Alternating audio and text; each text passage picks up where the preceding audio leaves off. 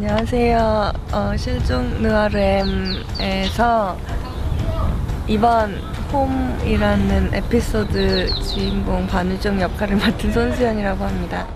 실종 느아램 저도 평소에 굉장히 재밌게 봤었는데 이렇게 한 에피소드에 출연하게 돼서 너무 좋고요. 오늘 찍을 장면은 무서운 장면입니다. 어, 좀만 더 이쪽 날 죽이려고 이렇게 해서 내가 이렇게 되지 여기 있으니까 이제 아유 좀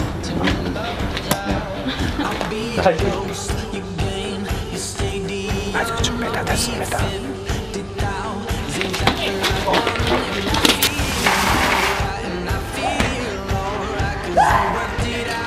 무서운 장면이에요.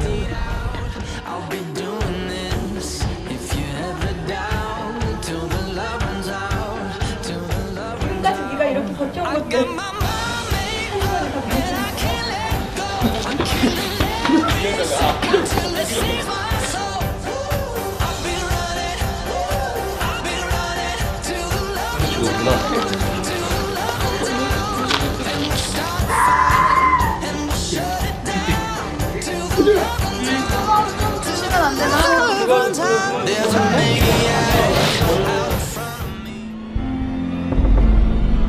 실종 요원